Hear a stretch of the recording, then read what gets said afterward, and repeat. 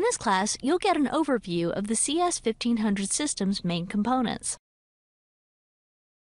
The CS1500 intraoral camera comes in two versions, wireless and USB.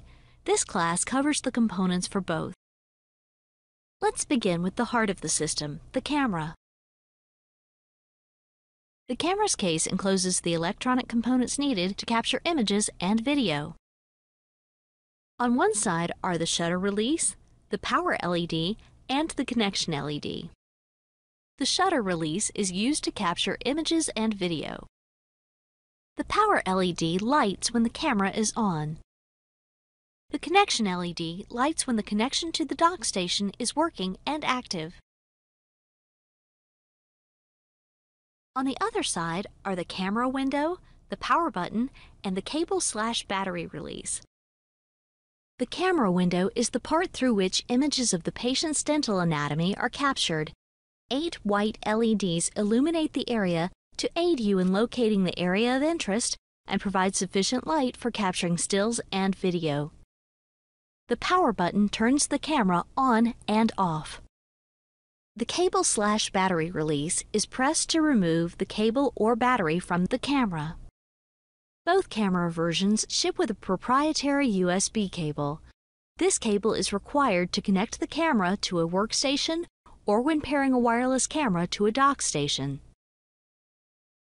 The USB camera ships with a rapid USB cable.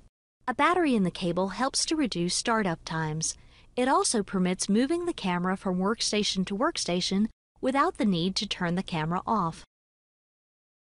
The wireless camera uses a dock station as a communication hub between the camera and a workstation or monitor.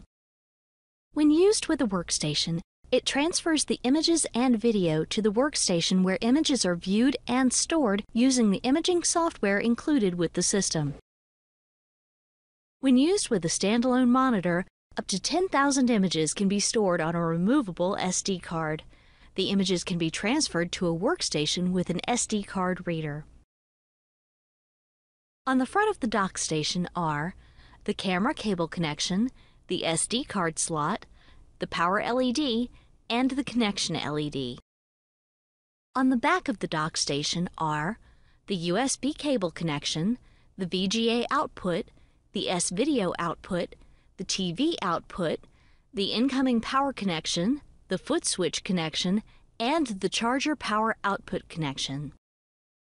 On the bottom of the dock station are the mount holes for permanent installations and the video output selector. That's it.